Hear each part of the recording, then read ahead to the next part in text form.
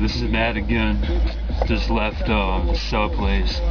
The last um, the last video got cut off right at about probably two minutes, minute and a half or so before I finished talking with Jeremy. Well, he hung up on me actually. You know, you see what we go through sometimes. You know, we're not immune from having issues and arguments and stuff like that. I've known the man a long time, but um, his problem is like you heard what I said. This is bigger than us. I told him that, and that said him. I, I don't know if it is. I, I, I think this is more uh, my family and my girlfriend's more important. He'll come around. I think um, spirit world's always with him, and it never goes away. It always bugs him. And I told him you can't disappoint people. We're doing this stuff for people. This is our life, life's work. That's his life, life's work. As much as he tries to, to tries to put it off and forget about this shit sometimes. But I'm not gonna stop. I'm not quitting. I'm not. I haven't come this far for nothing. I'm here to help y'all. You know, if I can do anything for y'all while Jeremy is out there hemming and hawing about what he wants to do and worried about uh, a woman. Uh, I'm no offense to any woman watching this, but um, you know, it's, uh, it's uh, messing his life up. Ever since he met one particular woman, it's really screwed everything up. So he's had this problem over and over. But um, when I got off uh, the phone, I was boiling mad. You know, I still am mad. I calmed down some. Um, I just snapped. You know, I called back. Of course, got no answer, and I left a um, left a um, pretty damn angry message. But the thing is, though, I have my own things I can do, and I'm not quitting. He'll be back around. He'll be back. I'm not gonna call him until he calls me, however long that might be. You know, but he'll be back on point. He's been through shit like this before. Look, people that do these things, it's not about your life. I'm talking to you, talking to all you people out there with psychic abilities uh, that can see spirits and hear them. You know that um, that are telepathic, that can read minds, that can communicate via telepathy. This stuff isn't about you.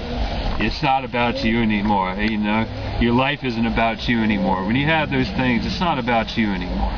Uh, your life ceased to be about you when those things started happening. You know, your life is about helping others, and that's nothing else. You know, if you can't derive satisfaction from that, then you just, I don't know what to say to you then. But let me give an example right here. Um, Elizabeth Kubler-Ross that woman who wrote the book on death and dying, on children and death, working it through uh, the wheel of life. That's her autobiography and a lot of other books. And did those things I was talking about earlier. She had um, retreats all the time for dying people, people that were about to die from terminal disease or whatever, cancer and whatnot, or AIDS, stuff like that. And um, had people that that were grieving and so forth over lost death of someone they knew family them too you know and then that became her whole life and that was her life you know she, she didn't charge anybody for anything not not one time in her life she was a psychiatrist not one fucking time did she she charged for you know, her husband divorced her, the children left, you know, and she didn't give a shit. She kept on. She might have been upset. I could see that, maybe upset at first a little bit, but she knew enough to recognize that the big picture was a hell of a lot more than just her and her little, her own personal desires. It was about changing the world. And um, so she kept on trucking, kept on trucking. You know, no matter what people said, no matter how many people dissed her, no matter her husband leaving her because of all the time she spent traveling, doing retreats, helping people.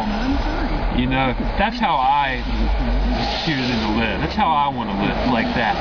I want to live, you know, day to day, hand to mouth, not worrying about money, you know, letting the universe be my paid master. That's how I want to live. That's how I want to live. That's it. That's it. You know, I want to serve others. I want to serve the universe. And that's it. I don't give a fuck about anything else. I couldn't give a flying fuck about a about a relationship, about children. I have no children, but if I did, this would be bigger than them, and uh, I'd have to continue on doing my work, not dealing with a bunch of nonsense.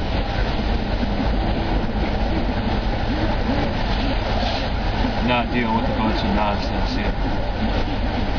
And listen, Jeremy, man, you watch this, man.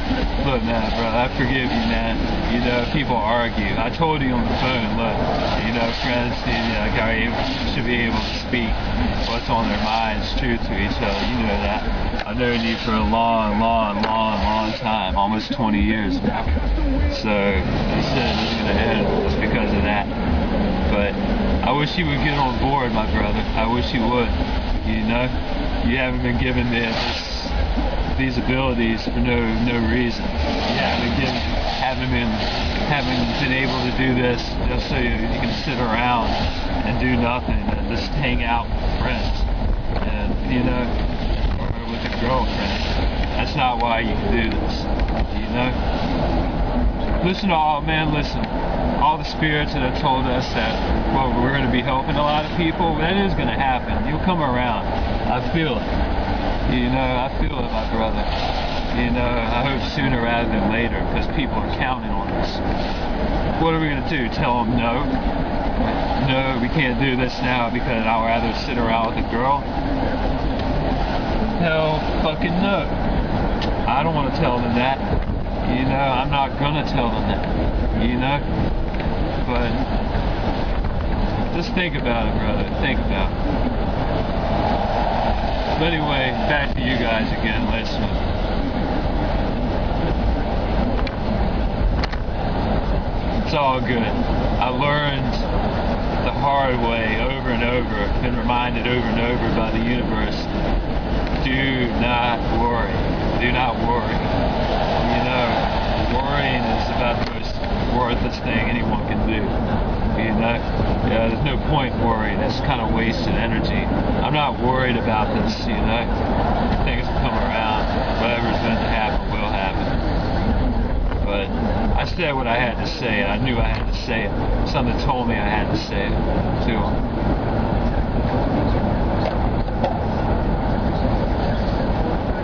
But anyway, enough on him. I've been hard enough on him today. Like I said, it's all good.